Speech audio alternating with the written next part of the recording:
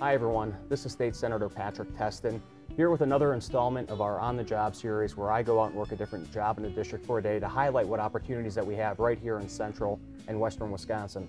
And so today, today we're at the Farm and Food Exploration Center and uh, with us is Andy Reitz, who's the Executive Director, to sort of talk about what I'm going to be doing here on my day-to-day -day, and more importantly talk about the importance of this center and, and what it means for the future of agriculture here in the state of Wisconsin.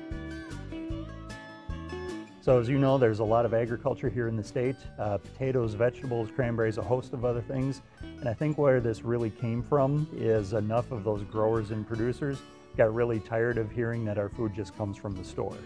So enough people got a bit irritated about it and said, we're gonna do something about it. And so we exist now to connect that disconnect on where our food comes from, the people that grow it, the technology behind it, and everything else in between.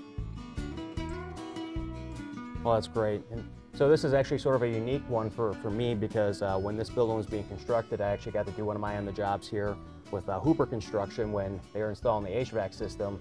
And so to come through these doors now after it's been completed, I mean, it, it's truly remarkable. So we've got a lot going on here.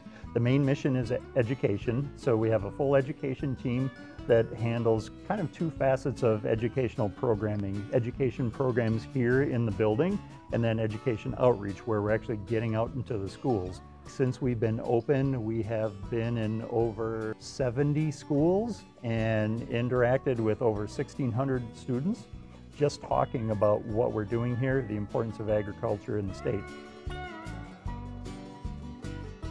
What can I expect today? Uh, what type of jobs are going to be having me do here in the center? Yep. So you mentioned I helping out with some of the school groups that are going to be coming through, but uh, you know, what else is there going to be to experience uh, at, at, this magnificent facility? So we've got a lot going on here. We have a, a full service cafe. We're going to put you to work in there making sandwiches, salads, probably uh, put your barista skills to work. Perfect. Uh, making some coffee. Today you're going to be helping with um, a school field trip.